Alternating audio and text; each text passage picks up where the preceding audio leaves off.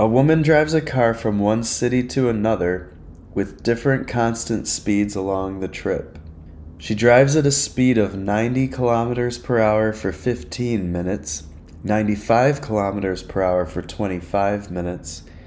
She makes a stop for 55 minutes, then continues going 45 kilometers per hour for 35 minutes. At that point, she reaches her destination. Question wants to know what is the total distance between her starting point and the destination in kilometers?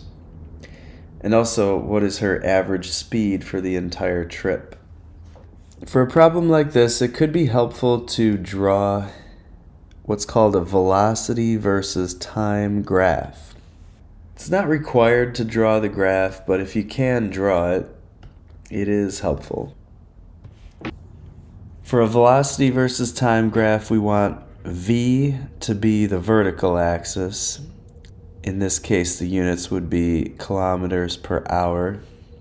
And then we'll use t for time on the horizontal. And I'm going to put this in minutes. So I'm going to subdivide the times into these four intervals that they had mentioned. The first segment of our trip lasts for 15 minutes. Let's start with that. Zero minutes is, of course, the origin here. The next leg of her trip lasts for 25 minutes, so that's going to be 25 minutes in addition to the 15. So this section here is 25. We have to actually add 15 plus 25 to get the clock reading at that point. So that's going to be 40 minutes from the start of the clock. For her third interval of the trip, she's going to be at rest for 55 total minutes. The 55 minutes is in addition to the 40 minutes that she already traveled. And I'm going to give these some symbols I'll call this first time interval delta t1. Second time interval can be delta t2. And the third time interval is delta t3. There's one final time interval of 35 minutes.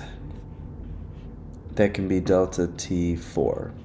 If we do 40 plus 55, that's going to be 95. And if we do 95 plus 35, that's 130 total minutes for this trip.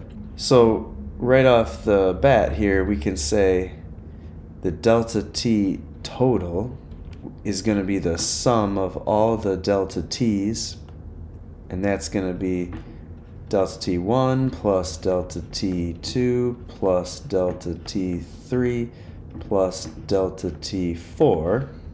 It's going to be 15 plus 25 plus 55 plus 35, taking us to a total time of 130 minutes for this trip. Now we'd like to make a graph of how large her velocities were during these four intervals. So I'm going to let uh, one of the intervals be represented by a rectangle here, where the height of the rectangle tells you the velocity. For her first interval, she was traveling at 90 kilometers per hour. So we want this. During that time, she's not changing her speed. And so she's going to be traveling with constant speed throughout the entire 15 minutes. That means that I need a horizontal graph here. So my velocity is holding a constant value of 90. After that, she suddenly increases the velocity to a little bit bigger value. She's now traveling at 95 kilometers per hour for 25 minutes. Then she makes a stop. So her velocity is going to drop to being zero for 55 minutes. Finally, she'll pick the speed back up to 45 kilometers per hour. So let's show that. We can shade in these blocks. Our goal now is to find the distances that each of these blocks contributes to her overall trip. We could call the distances D1, D2, D3, and D4. Now, in order to find the distances, we would want to use a motion formula for constant velocity. It'll be that the distance is going to be the speed times the time. This is just a rearrangement of the formula average speed equals distance over time.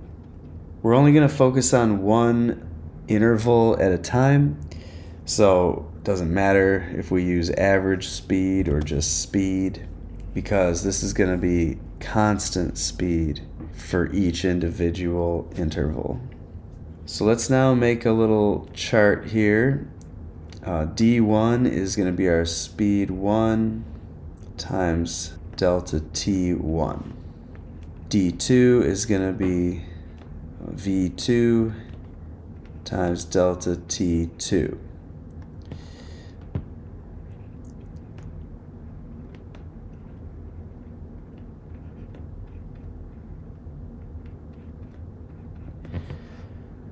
Okay, so now we can multiply to find the distances. For D1, we're trying to multiply the 90, which is the speed, times the 15, which is the delta t. So we'll do 90 kilometers per hour times 15 minutes. There is a mismatch of the time units here. Uh, we see that hours here doesn't match with minutes. So we do want to correct for that. We could change the minutes into hours with a simple conversion factor here, putting minutes on bottom so that they will cancel, and then we'll put hours on top. There's 60 minutes in every hour.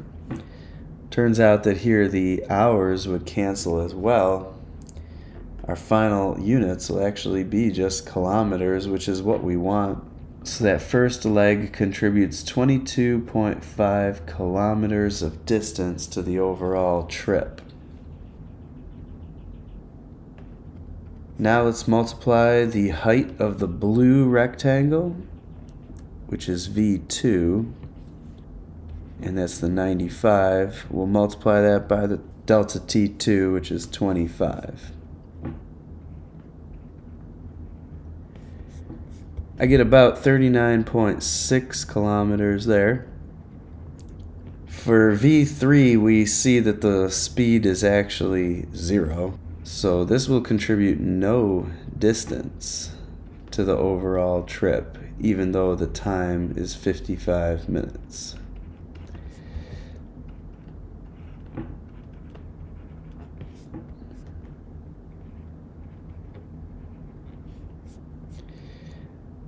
And then our final calculation is going to be 45 kilometers per hour times 35 minutes. It's about 26.3 kilometers. Now we can finally add up all the distances. It's going to be d1 plus d2 plus d3 plus d4. I get about 88.3 kilometers. And that'll be the total distance traveled in her trip. So that'll answer this first question. There's another interesting graph that we can make with this, and that would be a position versus time graph for the travel. The position will have the letter x, and it'll be in units of kilometers. We're going to have the start of the trip being the origin of the coordinate system. From there, we want the vehicle to travel with constant velocity. This is going to require a sloped, straight line type of segment where the slope of the line is 90 kilometers per hour. At that point, the slope needs to change.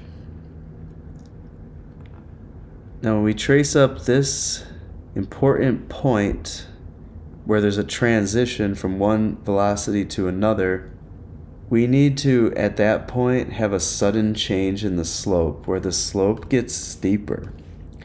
But it's still the same kind of curve. It's going to be a straight line segment.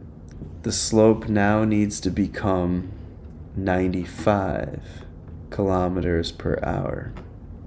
At this junction, the velocity changes to being zero. So what we want at that point is we need a slope equal to zero. This requires a horizontal line. Finally, there's one more change in slope. Now the slope needs to become 45, which is quite a bit less steep than the one shown on the left. So this is creating a position versus time graph from a velocity versus time graph. The distances that she ends up being away from the starting point will be 22.5 kilometers. Uh, then when she gets to this point, we could add the 22.5 plus the 39.6. She's now 62.1 kilometers away at this location. Here she's in the same location. And then finally, we should just add that final 26.3, taking us to 88.3 or so kilometers. Finally, we're asked to determine the average speed for the entire trip. So the formula for that is going to be average speed equals the sum of all the distances traveled divided by all the time intervals combined. So what we can do is take our result of the total distance traveled, 88.3, and divide that by the total time of travel.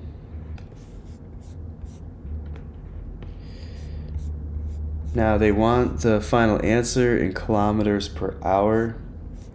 Right now my answer would be in kilometers per minute, so I am going to do just one conversion factor here. We'll change the minutes down below here to hours. I put minutes above so that it cancels with the minutes below. And let's see what we get. 40.8 kilometers per hour is the average velocity. Graphically, the average velocity can be thought of as finding the slope of a segment that goes from your starting point of your interval to wherever the ending point of your interval is. In this problem, they asked us to find the average velocity for the whole trip. So that would be creating a triangle graphically from the very left side of the motion to the right side of the motion. And then we would be wanting to find the slope of this imaginary triangle. If we could find the slope of it, that's another way to determine the average velocity for the interval. So this here is going to be the change in x. This here is the total time. So this is 88.3 divided by 130. Same calculation that we did here.